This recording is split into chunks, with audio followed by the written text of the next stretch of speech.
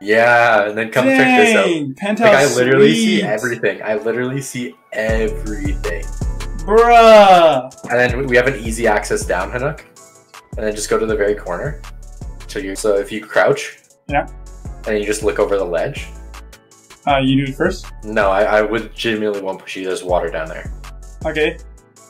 I die. Yeah.